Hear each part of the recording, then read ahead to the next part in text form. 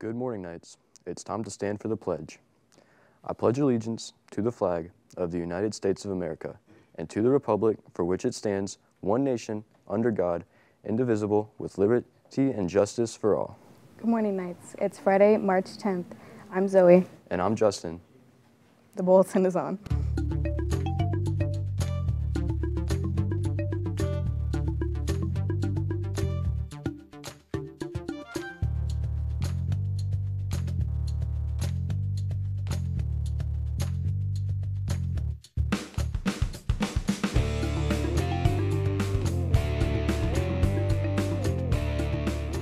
Did you hear Monday is Clue Day?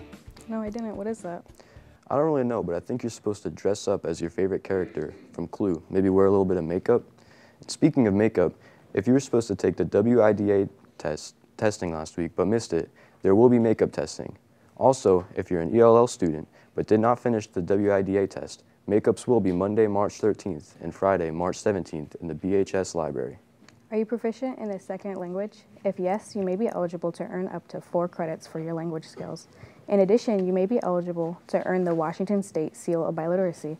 The Washington State Seal of Biliteracy recognizes high school graduates who have a- attained a high level of proficiency in speaking, reading, and writing in one or more languages in addition to English.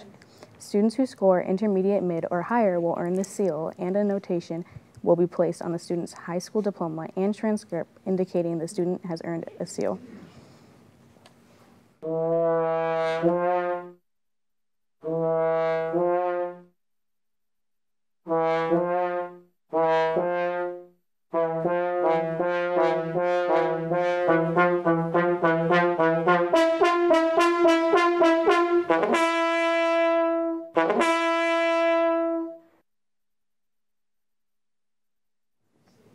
SBA testing takes place next week.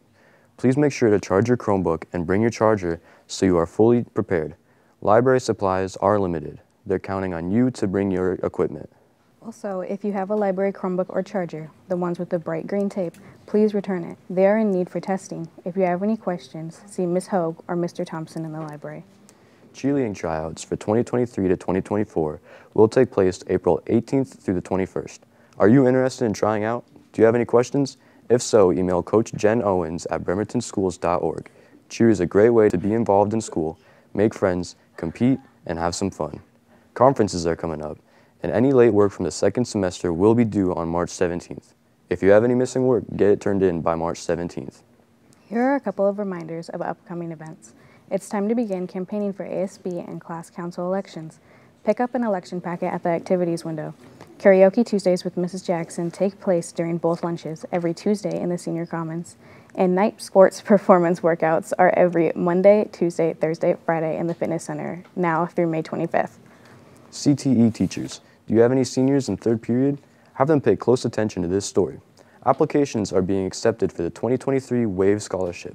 This award recognizes high performing career and technical education students. The award covers up to two years of tuition from $4,500 per year up to nearly $12,000 per year. The application deadline is one week away, that's March 17th. Please encourage your seniors to vi- visit the Workforce Board's WAVE page for details and get that application submitted. And here are clubs taking place after school today. By the way, it's not too late to join any of these clubs. Consider getting involved. If you're into anime, check out Anime Club today in room 257. There's ASL Club in 130 and Robotics Team in room 123. And of course, the spring play Our Town opens tonight at 7 in the PAC. Let's look at weekend birthdays. Today we say happy birthday to two knights. Happy birthday, Luke and Elena. Then on Saturday, it's birthday time for Anave, Sergio, and Arcadio. Happy birthday, knights. And Sunday is the day to celebrate for Katie, Keyshawn, and Kyra. Happy birthday, one and all. And that's our show for today. Have a great Friday. Go Knights.